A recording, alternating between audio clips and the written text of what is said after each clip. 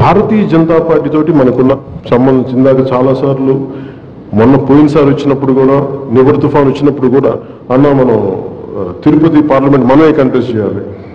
ఇది ఇది మనకి మీ కుటుంబ పరంగా ఇది మన బలమైన స్థానం మనమే చేయాలి. ప్రతి చోట దారులు వస్తుంటే ఇంత కింద దిగుతుంటే కూడా. నేను ఆపి మరి మాట్లాడుతూ ఉన్నారు. అలాగే మన నాయకులు పిఎస్సీ పిఎస్సీలో ఉండే నాయకులు కూడా చెప్తా ఉన్నారు. భారతీయ జనతా పార్టీ అగ్రనాయకత్వానికి ఉన్నంత అవగాహన వారు చూపించేంత గౌరవం ఇక్కడ మాకు కనిపించట్లేదు అనేది రాష్ట్ర స్థాయి నాయకత్వంలో కనిపించట్లేదు అనేది చాలా బాగా మన పిఎస్సిలో తెలియజేశారు. ఒక్కోసారి ఒక భావోద్వేగం కావచ్చు లేదంటే కొంచెం ఆ ఉత్సాహం కావచ్చు ఒక్కోసారి మాట తోడచ్చు కానీ ఒక కలిసి ఒక సంయోజ్యతో ముందుకెళ్దాం అనుకున్నాం చిన్న చిన్న తప్పుల్ని మనం సవరించుకొని ముందుకెళ్ళాలి తప్ప ఆ తప్పులు ఆ ప్రయాణాన్ని ఆపకూడదని మేము మనస్ఫూర్తిగా నమ్ముతాం. అది మీరు కూడా పెద్ద మనసుతో అర్థం చేసుకోండి. మీ మనసుకి నొప్పించే పరిస్థితులు ఏదైనా ఉంటే ఖచ్చితంగా గతంలో జరిగినప్పుడు వారి నాయకత్వానికి మేము స్వయంగా నేనే తెలియజేశాను. ఎందుకంటే మా నాయకులు మా జన సైనికులు మా ఆడపడుచులు ఇబ్బంది పడుతున్నప్పుడు నేను ముందుకు తీసుకెళ్ళడం కష్టంగా ఉంటుంది ఈ ప్రయాణాలు. అందుకని దయచేసి దీన్ని అందరికీ తెలియజేయంటే చాలా బాధ్యతగా అందరూ సరిదిద్దుకున్నారు. అంటే అదేదో మీకు కావాలని చేసిన కదా చిన్న చిన్న పొరపాటు జరిగినాయి. అది సరిదిద్ది దాంట్లో తర్వాత కూడా మీరు చూసిండొచ్చు కరెక్షన్స్ సో తిరుపతి పార్లమెంట్కి ఎవరు కంటెస్ట్ చేయాలి? జనసేన భారతీయ జనతా పార్టీ దీని మీద ఒక ఎక్సైజ్ ఒక అవగాహన వచ్చాం కానీ దాని మీద ఇంకొంచెం పటిష్టమైన నిర్ణయం తీసుకోవడానికి ఇంకొక రెండు మూడు సిట్టింగ్స్ మేము కూర్చోవాలి. ఇంకో రెండు పర్యాయాలు కూర్చోవాలి.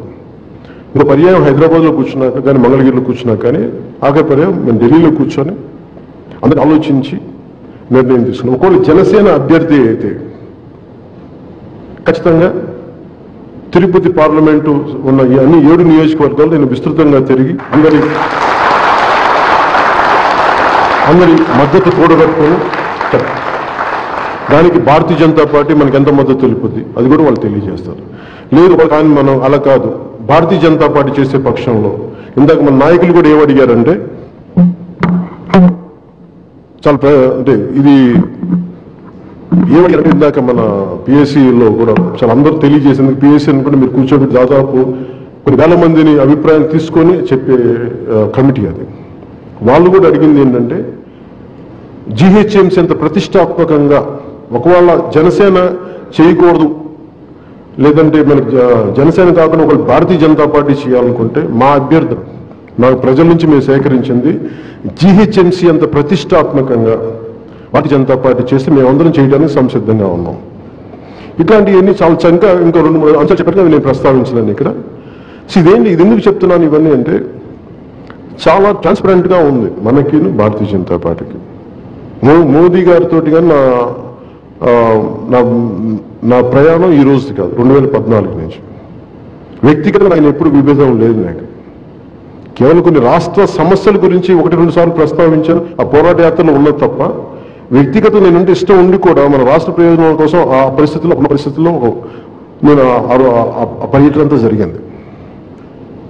కానీ ఇప్పుడు రాష్ట్ర సుస్థిరత కోసం ఏ ఏం చేయాలి ఎన్ని అనేది చాలా చాలా బలంగా అందరం కూర్చొని ఎలా చేయాలి?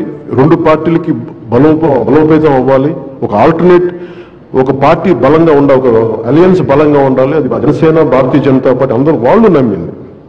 జన భారతీయ జనతా పార్టీ అగ్రనాయకత్వం నమ్మింది. సో దాన్ని దృష్టిలో పెట్టుకొని అది ఎవరికి మనం వెళ్తాం అనేది ఒక వారం రోజులు వరకు ఒక వన్ వీక్లో మనం తెలియజేస్తాం. దాన్ని బట్టి మనం ముందుకు ఎలా వ్యూహం చేద్దాం ఈ వ్యూహాలు ఎలా తీసుకెళ్దాం ఈ ఎలక్షన్స్కి ఎలా ప్రిపేర్ అవుతాం మీకు తెలియజేసుకుంటాం.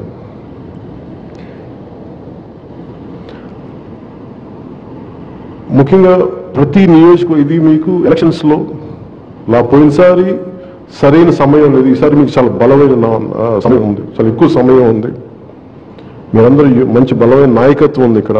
పోరాటం నాయకత్వం నా ఉద్దేశం పేరున్న వాళ్ళని కాదు. బలంగా నిలబడగలిగేవాడు ఉదాహరణకి వినుకని వాళ్ళు వారి మీ శ్రీహాస్ వినోద్ గారిని వాళ్ళు చేసిన విధానం అంటే వాళ్ళ మీద ఎన్ని ఇబ్బందులు పెట్టిన వాళ్ళు బలంగా నిలబడిన విధానం ఆవిడ ఆయన ఆయన ఆవిడ భర్త మీద కానీ బలంగా నిలబడ అంటే వాళ్ళు వెనక ఏదో కూర్చోబెట్టి పెద్ద పెద్దగా కాటికట బలంగా ఒక ఆలోచన విధానంతో పోరాటగలిగే సత్తా ఉన్నవాళ్ళు. అలాంటి నాయకులకి మేము బలంగా నిలబడి ఉంటాం మేము మేము తెలియజేసుకుంటాం. కాదు చాలా జాగ్రత్తతోటి ఉండండి. మీరు ఆలోచనతోనే యుద్ధం చేయండి మీరు. అలా గొడవ పెట్టుకున్నప్పుడు ఆచితూచి వంద వంద ఆలోచించండి. గొడవ పెట్టుకోవాలనుకున్నప్పుడు. ఎందుకంటే ఒకసారి గొడవ పెట్టుకుంది ఇంక వెనక్కి వెళ్ళకూడదు. వాళ్ళు మడం తిప్పుతారేమో కానీ మనం మడం తిప్పకూడదు గుర్తుపెట్టుకోండి. అందుకని దయచేసి మీరు ప్రత్యర్థి నాయకులు మాట అనేటప్పుడు కూడా ఎంత మాట అనాలో కూడా మీరు నిర్ధారించుకోండి. వాళ్ళు అనేస్తారు వాళ్ళు నోరు జారేస్తారు. అది వాళ్ళ విధానం అది. ఒట్టి కొట్టిగా అరుపులు ఎక్కువ అంటారు. అది మీరు మర్చిపోయినా సార్ వాళ్ళు అరుస్తూ ఉంటారు వాళ్ళు పట్టించుకోకండి. ఎందుకంటే మీరు ఈ దారిలో ప్రజా సమస్యలను మీరు పరిష్కరించాలి అనుకున్న సమయంలో మమ్మల్ని డైవర్ట్ చేయడం కూడా అలా చేస్తూ ఉంటారు. అందుకే మీరు అలాగే మీరు ఒంటరిగా గొడవ పెట్టుకోవద్దు మీరు కూడా. మీకు జా- జా- జిల్లా స్థాయి నాయకులు కలవండి లేదంటే జన సైనికులతో కలవండి ఒకసారి పిలిపించుకోండి వంద మంది మాట్లాడండి ఒకరికొకరు అలాగే నిలబడండి. అంతేగాని కూర్చోబెట్టి లీడర్షిప్ ఈజ్ కలెక్టివ్ లీడర్షిప్ ఇప్పుడు అంటే లీడర్షిప్ అంటే ఒంటరిగా ఉండదు అది మీరు అర్థం చేసుకోవాలి. ఇంకా దీన్ని దృష్టిలో పెట్టుకొని మీరు భవిష్యత్ కార్యక్రమం చేయండి. అలాగే మేము ముఖ్యంగా భవిష్యత్తులో నేను అనుకుంటుంది. అది మనోహర్ గారికి కొన్ని పెద్దలు మనోహర్ గారికి కూడా తెలియజేస్తాను నేను. అంటే ప్రతి పార్లమెంట్ నియోజకవర్గంలో వీళ్ళు మేక్ షూర్ ఒక పిఎస్సి సమావేశం జరుగుతుంది. అలాగే నాకేమంటే ప్రతి నియోజకవర్గంలో ఒకటి రెండు రోజులు ఉండాలి నేను. అవగా తెలుసుకోవాలి. అండ్ నాకు నిజంగా ఒకసారి నా జన జన తాకిడి ఎక్కువ ఉండబట్టి నాకు ఇబ్బంది. కానీ ఒకసారి నా మా జన సైనికులు ఇంట్లో ఉండాలని కోరుకునేవాడిని నేను. కాదు ఒకసారి నాకు నా నా సైజ్ నాకంటే నా నా మీద ఉన్న ప్రేమాభిమానం నాకు ఇబ్బంది అయితే ఒకసారి రోడ్డు మీద రా నాకు ఇబ్బంది పడతాను. కానీ నిజంగా నేను ఒకసారి నేను యాక్టింగ్ కాబట్టి చాలా సంతోషపడేవాడిని. నేను కూర్చొని సంచి చేసుకుని వచ్చి ఇళ్ళలో ఉండి పార్టీ నిర్మాణం చేసుకునేంత మనస్తత్వం ఉన్నవాడిని. కానీ ఒక అవకాశం ఏదైనా ఖచ్చితంగా కూర్చుందాం. అలాగే ఈ రోజున క్రియాశీలక సభ్యత్వం అనేది చాలా కీలకమైంది. ఒక రెండు వేల పద్నాలుగులో స్టార్ట్ చేసిన లక్ష లక్ష లక్షల రోడ్ల మీద వచ్చేవాడు ఒక రెండు మూడు కిలోమీటర్ల రోడ్ల మీద నిండిపోయి కానీ ఎంతమంది పనిచేస్తారు మన కోసం? ఒక సంవత్సరం పొడుగుతా కొన్ని సంవత్సరాలు పొడుగుతా. ఏదో పాల పొంగులా గుచ్చిపోవాలి నిరంతరం నిలకడగా ఉండాలంటే వాళ్ళకి మన భావజాలను కట్టుబడి ఉన్న మనం మనం మనం ఇష్టపడే వాళ్ళు ఉండాలి. దాంట్లో భాగంగా క్రియాశీలక సభ్యత్వాన్ని ముందుకు తీసుకెళ్తాను.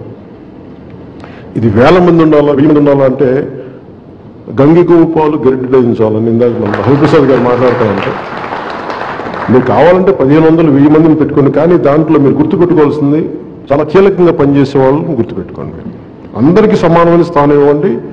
ఎవరైతే పనిచేస్తారో ఎవరైతే నిలబడతారో ఎవరైతే భావోద్వేగాలు లేకుండా బలంగా ఎదుర్కోగలరో వాళ్ళు మీరు గుర్తించి అందరినీ కూడా సమానంగా ముందుకు తీసుకెళ్ళండి. దయచేసి అది మర్చిపోండి